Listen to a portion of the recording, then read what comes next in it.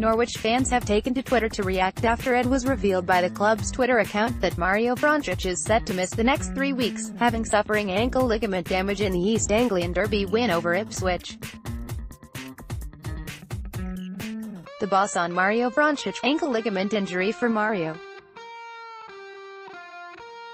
No surgery required but he will be out for three weeks.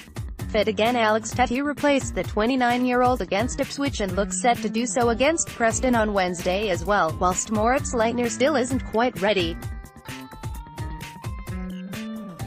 Be sure to check out the incredible story of the man who rose from a Tanzanian refugee camp to become one of Australia's biggest football stars in the video below. Vrancic has 7 goals and 5 assists in 24 championship appearances so far this season and will be a big miss over the next few weeks for the Norfolk-based side, and fans have taken to Twitter to express their disappointment. The boss on Mario Vrancic, ankle ligament injury for Mario. No surgery required but he will be out for three weeks. Diane Davis, question mark question mark, at Canary Buenardi, February 12, 2019 No slightly frowning face wishing you a speedy recovery Mario, Amy, at Amy CFC, February 12, 2019 Worried for Preston tomorrow. They like to be aggressive and Tettey will just back off and let them build pressure on us. Trybull can't do it on his own. Sooner Leitner, Vrancic get back the better. Thought Leitner was supposed to be back by now. McLean with Trybull has to be the option, please not Tettey.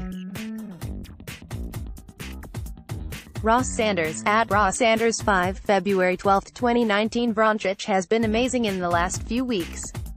Thankful it's not too serious. https colon slash slash t.co slash xgt7264phq Rob Butler, at Butler, February 12, 2019 Time for McLean to seize his chance. Shame for Mo, we need his metronomic conducting back soon. Stephen Thorndike, at Zippers, February 12, 2019 Gotta be McLean in for Vrancic with Leitner still not ready. Can't have Trybull and Tettey in same starting lineup surely. Craig Ruggles, at Therag 85, February 12, 2019.